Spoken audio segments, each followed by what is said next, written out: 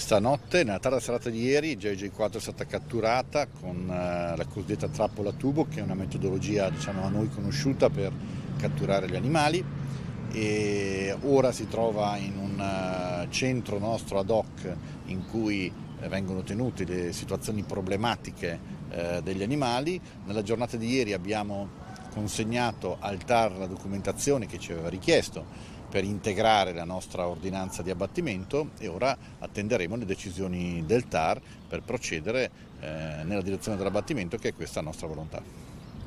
Ecco, una vicenda tragica, cos'è che non ha funzionato o che si potrebbe migliorare? Occorre far tornare il progetto alle sue origini. Eh, originariamente il progetto parlava di una cinquantina di esemplari che sarebbero stati in Trentino e che si sarebbero dispersi diciamo, sull'arco alpino. Eh, questo non è avvenuto, sostanzialmente ne abbiamo più di un centinaio e sono tutti in Trentino.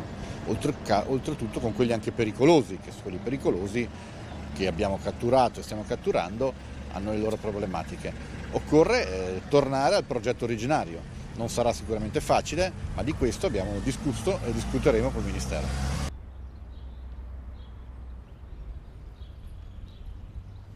Ecco, avremo un, uh, un incontro tecnico uh, nei prossimi giorni con il Ministero competente e capiremo quali sono gli spazi.